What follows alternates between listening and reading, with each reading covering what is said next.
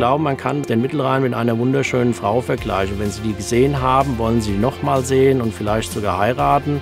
Und wenn Sie eine Mittelrheinlandschaft gesehen haben, haben Sie sich in die Landschaft automatisch verliebt und wollen sie immer wieder neu erleben.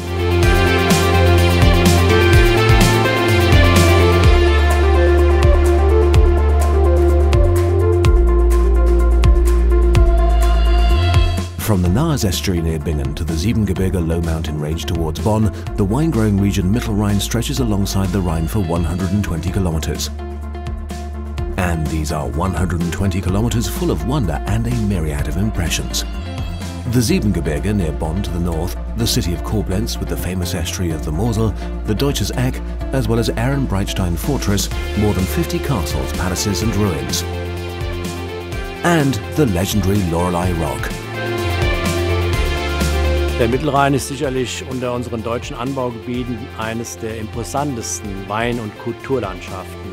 Er ist geprägt durch den tiefen Rheingraben, der sich über Jahrtausende eingegraben hat in die Schieferboden. Und an seinen Steilhängen wird dort unter großem körperlichen Aufwand enorm mineralhaltige und stoffige Rieslinge erzeugt. For the love of Riesling, all wine growers in the region make the most of the delicate, sun-kissed grapes. Some have founded an association together, the so-called Mittelrhein Riesling Charter. With the aim of protecting and promoting the Rhine's cultural Riesling heritage, they have pledged themselves to high standards of quality.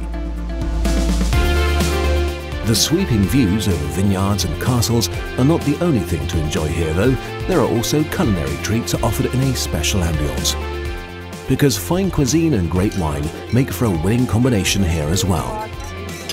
Was bietet sich bei einer Wanderung besser an als einen rustikalen Imbiss irgendwo an einem schönen Aussichtspunkt mit einem kräftigen Riesling und dann in Ruhe einmal ein Stück dieser Landschaft zu genießen?